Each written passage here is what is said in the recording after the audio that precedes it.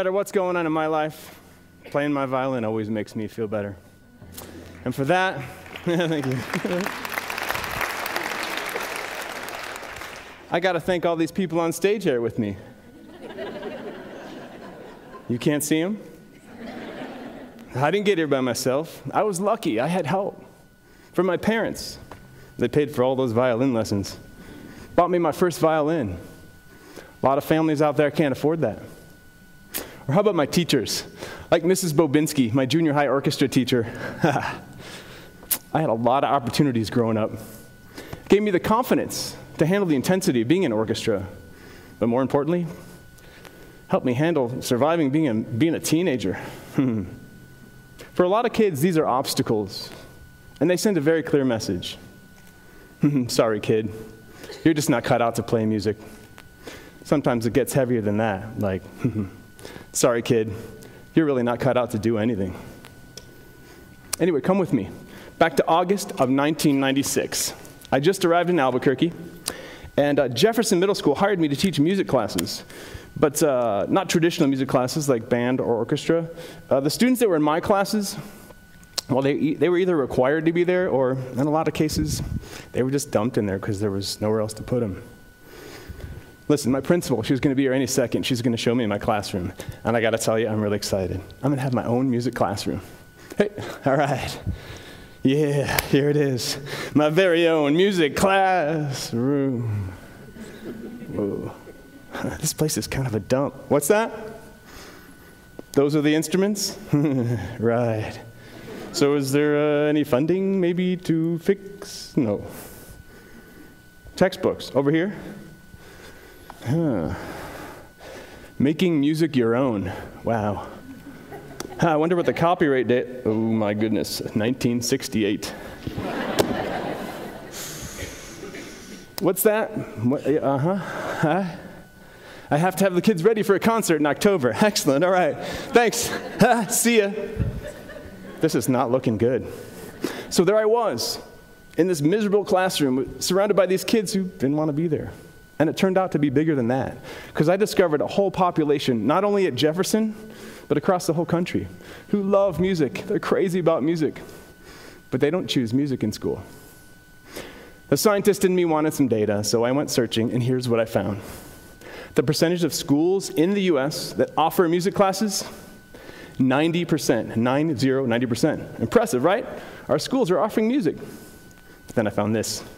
The percentage of students who choose to be in music elective classes is estimated at 12%. 90% of our schools are offering music classes, but only 12% of the school of the kids are actually interested. It's a mismatch, right?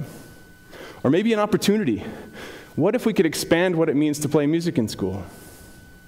What if we could open the doors so wide that any kid would feel comfortable joining, even if that kid never played an instrument, never took a lesson, or maybe felt intimidated by how the academic culture defines musician? This is what inspired me to create the Rock and Rhythm Band program, and it's based on a very simple premise everyone can play music, and I believe that. In fact, we could play some music right here, right now, in 30 seconds we could create a 700 person TEDx ABQ jam. we don't need instruments, we don't need rehearsal. We do need you, and we need a little energy. So, are you in? What do you say? Should we do this? Yeah. All right. this is a little warm up we do in Rock and Rhythm Band. Opens up the ears, gets the mind thinking rhythmically. Very simple call and response. I clap a rhythm, you clap it back. I'm first. Ready? Here we go.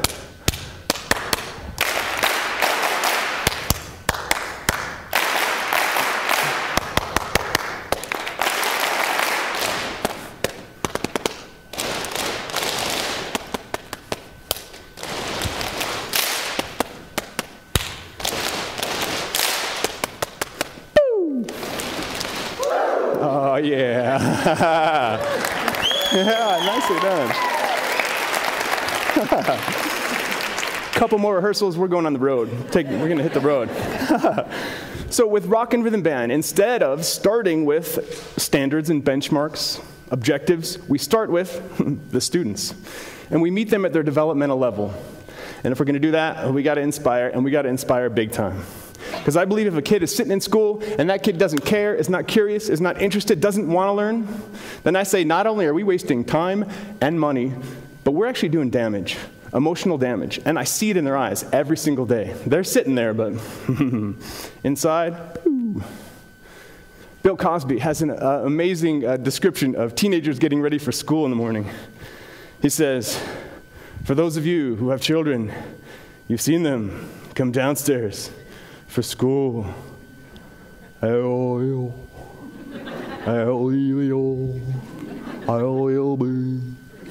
Does it have to be like that? Do kids have to be miserable like, at the thought of going to school?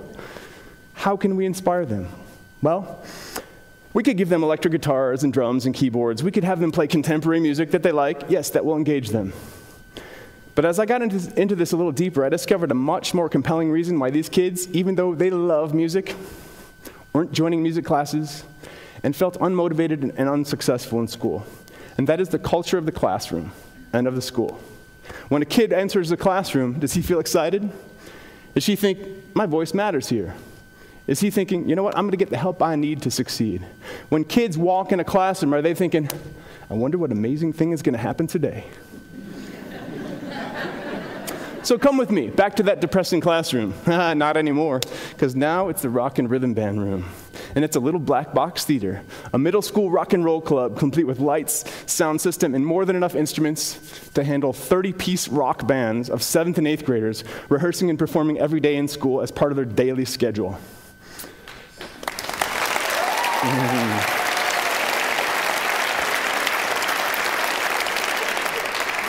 and all while meeting state and national standards.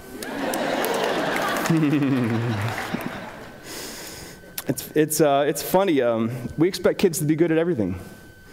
But as adults, do we expect that of ourselves? Albert Einstein said everybody is a genius. But if you judge a fish on its ability to climb a tree, it'll spend its whole life thinking that it is stupid. If we can inspire kids to be passionate and successful at just one thing, I really believe that success will reverberate throughout their lives beyond anything we could imagine. And I'd like to close today with the real stars of rock and rhythm band, the students. Uh, so you know that 88% I was talking about?